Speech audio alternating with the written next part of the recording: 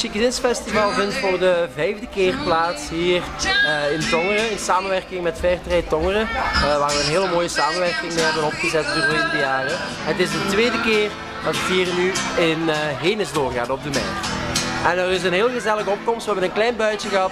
Ondertussen eigenlijk is Ine de pannen van het dak aan het spelen en is hier gezellig, zonnig en lekker, lekker, lekker met al die lekkere hapjes van het oude comité ook wel.